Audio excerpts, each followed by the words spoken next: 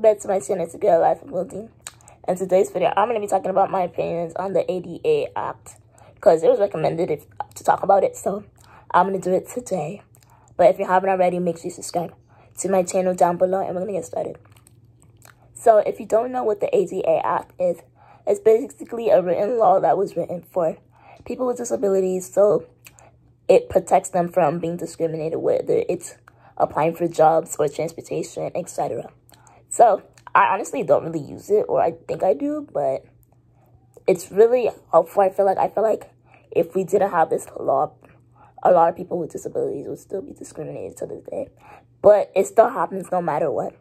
And that's one of the things I'm kind of scared of after I graduate high school and I do apply for a job after I leave college, obviously, or while I'm in college as well. Like, what whether the job is going to take me because there are people out there that have an ableist mindset, thinking that little people can't do the job, which is not the case, to be honest, because I feel like little people are capable of doing anything, to be honest. But yes, unfortunately, here in this world, there are people out there that have an ableist mindset, which that shouldn't be the case because little people can do anything just because we're like shorter, like three feet or four feet or two feet tall. It doesn't matter. Yeah, we might need help, but like not even help, like probably like a step stool or something um, that's literally what we need. Or sometimes, like, sometimes jobs don't want to do modifications. Well, they kind of have to. So I feel like me working, like, I think I wouldn't have an issue with it because I do use a power wheelchair. So I think I would be okay. But it just really depends. And you never know with this world because people in society today, like, are very judgmental, unfortunately. But